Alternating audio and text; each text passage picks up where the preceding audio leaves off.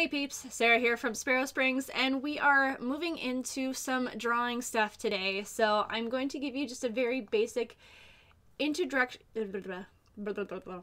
introduction to how I approach drawing. So I'm going to be doing a portrait of a horse, and honestly, there's so many different ways that you can approach drawing. So like I said, this is just my way. So if you're new here, subscribe to my channel so you can keep up on all the different parts of this particular drawing and let's get started. Alright guys, so I've got something a little different today. I'm going to be working on a drawing. So um, first of all, let me just show you what I have here. I've got my picture references. I'm going to be working on a portrait of a horse, obviously. I've got two different erasers. I've got a kneading eraser, and then I have just a standard eraser too. So there's different purposes for these, and I can get into that later. Um, I've got my pencils. I will be starting with a 2H because I'm going to have a lot of negative space in this, so I want to make sure that everything is very clean and easy to clean up. Um, I've got just this, and I this brush, it's just a very uh, soft brush that I use to just sweep off uh, eraser shapings without smudging the drawing. Um, obviously, pencil sharpener, gonna need that. And then this is a handy little doodad. So basically, this is just a thing of sandpaper that when my pencil gets dull, then I can just sharpen it right up again. So that's super helpful. I have four different picture references here. And so the reason why I use multiple is because sometimes I want to pull different elements from each picture. So you know, I like the the head positioning on these two, but I want the ears forward. Um, I like just the the way the body is positioned, like that straight on on this one, and then this one is a good reference for like the eyes and stuff. So just different different things that I'm pulling from different portions of the picture. My camera won't focus.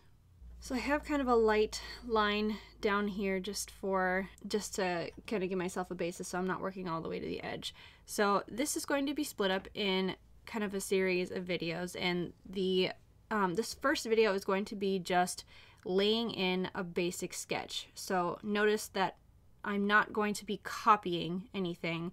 I'm just, I'm referencing um, these different photos. So let's get into it. Now, first of all, as with all drawing, um, you want to make sure that your proportions are are correct. Now, you should know kind of basic anatomy of whatever you're drawing, but there's some little tips and tricks that you can use that kind of apply to everything. So, you know, in the movies, like sometimes they'll do this, well, it's like, oh, I'm comparing with my thumb, whatever. and there actually is something to that. So it's like, I'm going to be comparing, for example, the head on this one. So I know that the width across from the head is roughly two, um, two up and down. So the, the width is two on the length. One here, and then roughly two to get my length. So I can use these little tricks to get my proportions somewhat in line. Apparently my camera wants to see more of my messy desk.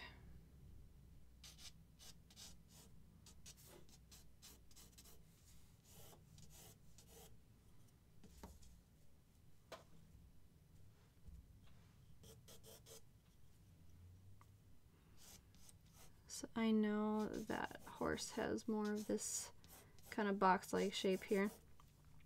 That's something to note a lot of times is when, I mean, like I said, I think I've said this before, that art is mostly observation. So noticing these shapes in here. So I've got that kind of triangle forehead or kind of that pyramid. So that's what I'm going for on all these. And then these cheekbones usually come fairly straight down. So, and then just how far do these cheekbones come down? It's like, right, probably about half from the eyes. All depends on the tip of the head. So I'm just going to keep sketching in and just see how I feel about the shape. And let's get that nose in there.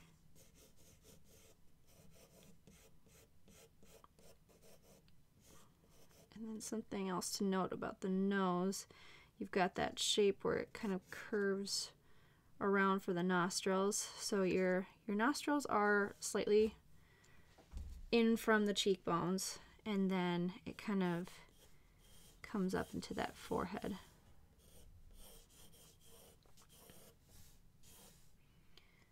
And it does kind of splay out once you get to that point. Now that's different on every horse, so it's it is kind of sort of up to interpretation a little bit, and we'll kind of refine these as we go. I just want to get kind of basic proportions and shape in here. So then I've got kind of that jawbone that comes in.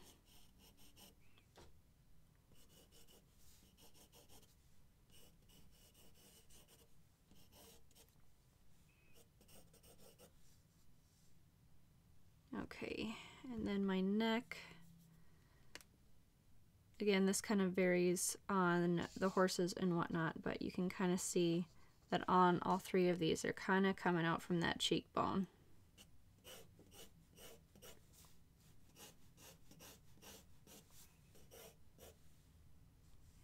And keep that center line in there. Uh, ears will kind of come off. Now I like kind of more of that straight line kind of looking back so I don't want kind of I don't want the hindquarters to come up too far. So I'm going to assume kind of the top of those nostrils is where we're going to be sitting. Because I like I like the angle of this one probably the best so that's the one I'm gonna pull from so you've kind of got that spine that comes up and then down to the hip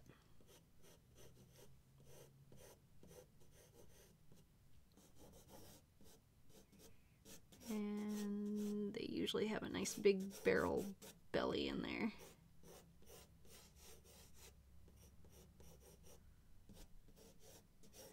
Now notice I'm keeping everything super light for now. I can darken up some of these lines in just a bit here. But I'm also keeping my lines really loose um, just because I don't want anything too set in stone right now. Um, let's talk about shoulders. Now, most of them, their shoulders are kind of between that neck and that belly barrel line. So let's kind of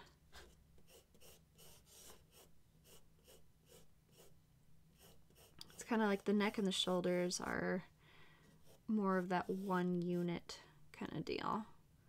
Now this is probably want to bring that in a little bit more because if I'm looking at him more straight on, I'm not going to get as much of that fan out. So let me just bring, bring that in a little bit. Get more of a, a narrowish horse in there for composition's sake. Get that quarter in there. See, it's the nice part is once you see kind of how everything works. You can pull those proportions how you want them, whatever you think looks best to you. That's why we have several references because we can look at them and see, okay, is this within the line of normal here? So let's flesh out more so on the face here. Now, ears are always something that kind of uh, evades me in a sense. So I know that basically ears work like little tubes of horse flesh. so I just need to get them pointing in the right direction. But usually the ears come off of this slant on that triangle into the head. And so I'm gonna I'm going to just do little tubes just for now, just to kind of block in where I want them. And the size of the ears also depends on the horse, so it's really kind of a matter of preference and taste. So this one has kind of more, um, I would say, wider ears. Um, and this one has more like kind of skinnier, longer kind of ears. So let me see. Since I want them pointing forward, I kind of want to reference this one more. And I kind of like the the shape, but maybe I'll just thin them out a little bit. Let's grab kind of a comparison here. Okay, so from here to here, it's about the length of my ear. Just for reference. It looks pretty goofy, but that's okay.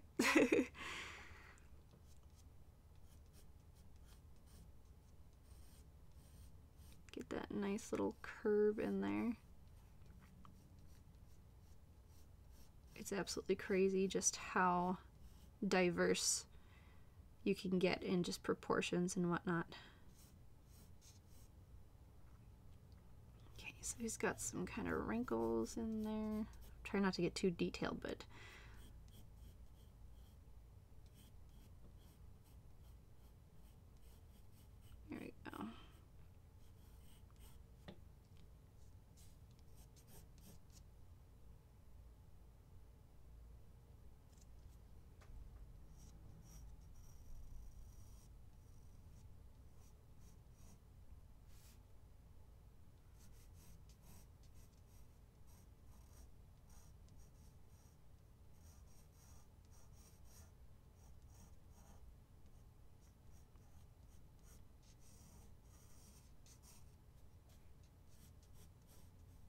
Just noting that those have edges there.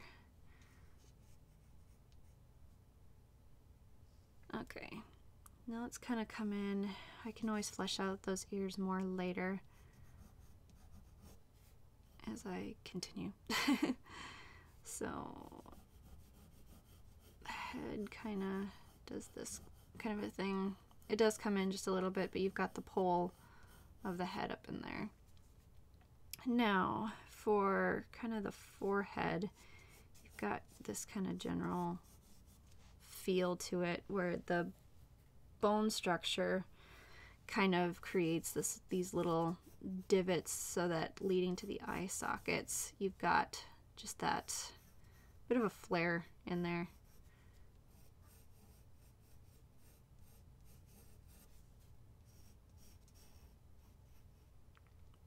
Okay, so you've got the eyes. There's usually kind of a hole in the skull above that, above their eyes. And it's funny because when horses chew, you can actually see these little divots um, moving up and down, just the way everything is kind of functioning in the horse's head.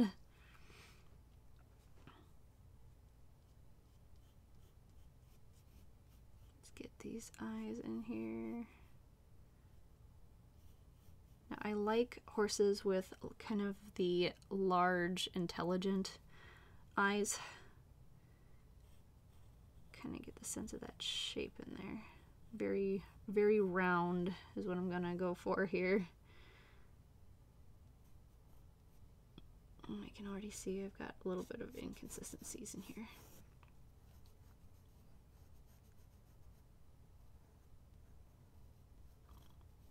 Go.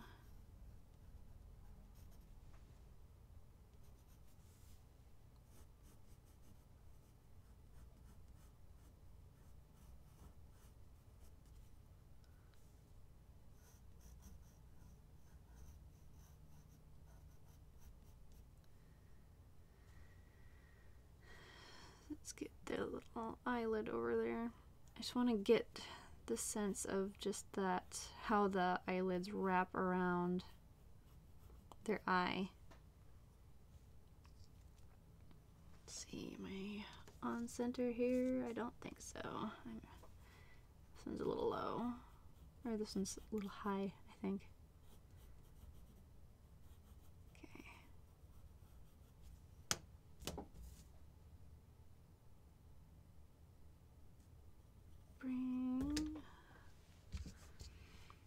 Them down just a tad. So much observation. Like the more you can catch now, the easier it'll be later on.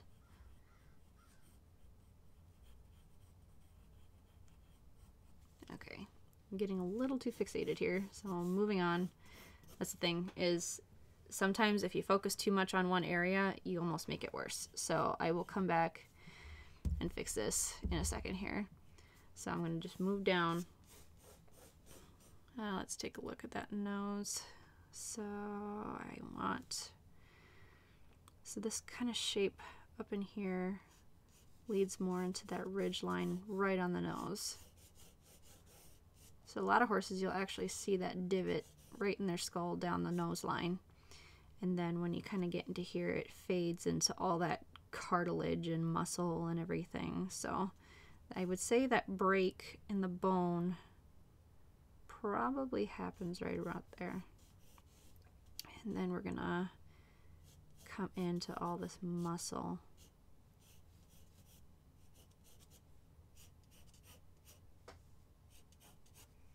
Just make sure my cheekbones are about the same. Yeah, right there.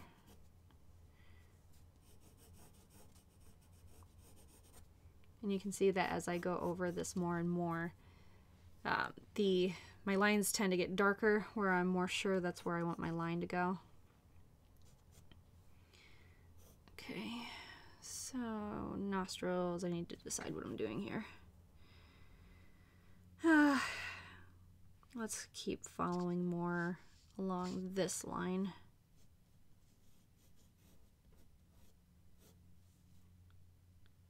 So he's got some nostrils that flare out quite a bit here. I love horses that just have that big expressive kind of design to them. And the eyes might be a little bit big on this guy, but we're gonna I'm gonna take it step by step here. I mean, this horse actually does have quite large eyes. I know Arabians tend to have more of that um, observe like observative kind of nature to them. Okay, so we want nice big round nostrils here that kind of come into the lips a little bit here. And you can see the contrast isn't the greatest on this, so I can't really reference that as much. Uh, but as I'm looking at this, I don't think my nostrils are coming up far enough because I'm running out of room kind of for my horse's lips here. So let's actually bring that up. Uh -oh. Okay, so Arrow woke up and that's okay. Um, this will just kind of force me to not be so detailed right now. So I really just want to block in a general shape that I am happy with in composition wise. And so looking back at these nostrils, so now I just have a handy dandy little trick when I'm drawing when Arrow's awake is I just tape everything down so he can't grab it and then it steadies it more for me. But okay, now a lot of times, let's look at this real quick. The nostrils on the horse kind of come up. Hey, no cords. No cords. Okay, sorry, one more adjustment. There you go. Find out what you need to do later on. so, okay. On this one, which I think this is the angle that I'm more focusing on, the nostrils kind of come up to the bottom of that jawline. And actually this one kind of does too. So these two angles are the ones that I'm really more focusing on because um, I want that head tipped upwards more so than down. So if I've got my jaw bones coming in here, so their nostrils are going to be about up. There,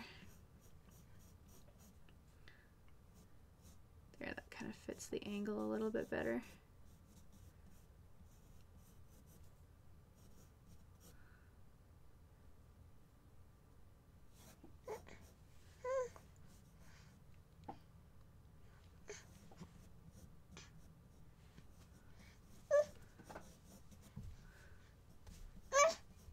Yeah, I know.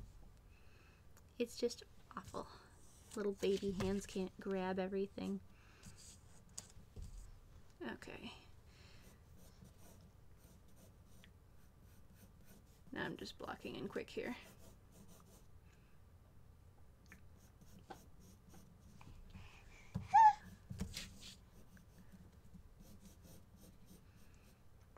And then we usually got the lips that come in more down here. And then that bottom lip is usually not as pronounced at this angle. So let's just bring it in. Nostrils are way too big. That's okay. I'm not going to get super detailed right this second.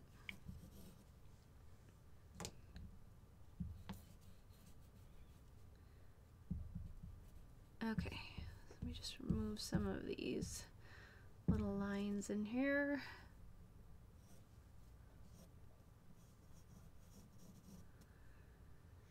All right. Let's just refine a couple things in here because that jawline comes in kind of like that. Just make sure we're even across. And then we've got kind of top of that cheekbone kind of coming in here.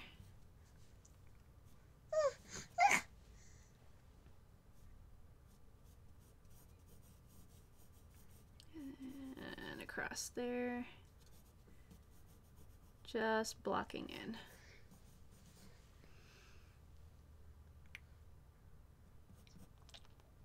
see, now I'm feeling like this comes out too far.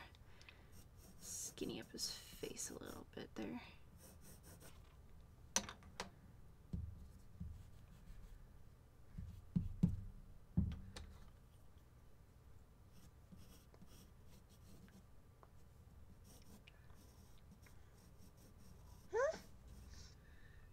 Okay, so the skinniest part of that face is going to be kind of right in here. So let's try and capture that a little bit.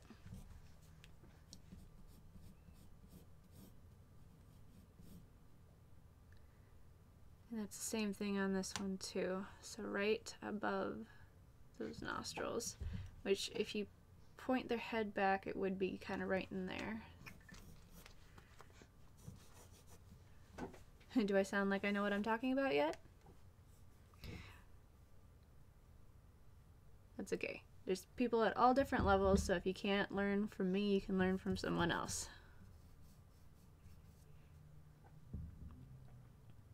Okay, I'm going to stop fixating too much on the head right now.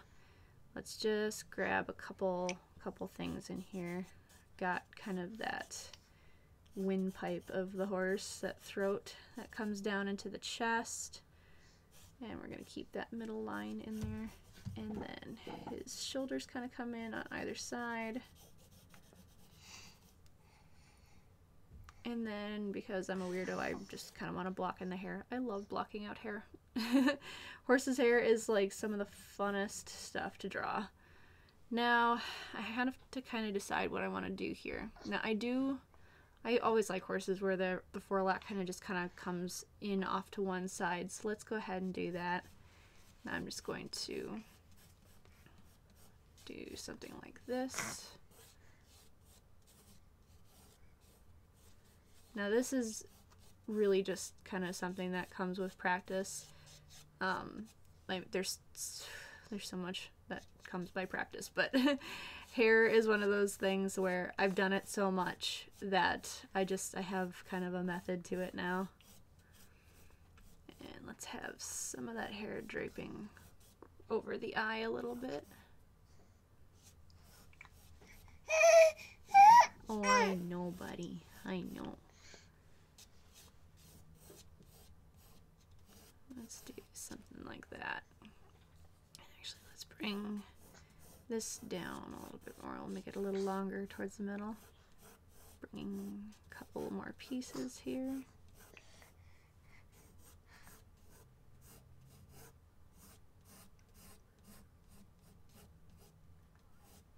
Then we get some stray pieces in here. We have the bit that flips over the side.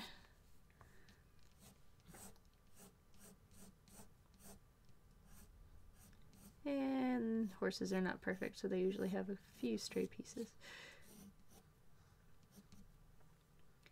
Okay, and then do we want the mane off to the side? Probably.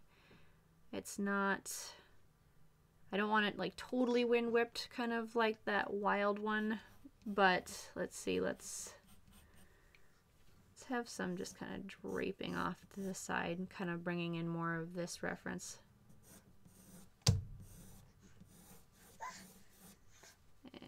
usually layers of it. So let's just bring just like that. We give him a little bit of a longer mane because we like hair. Hair's fun.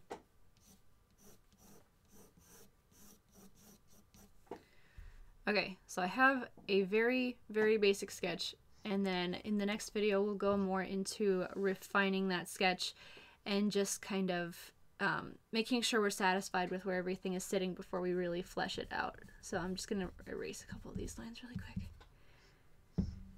And that's that.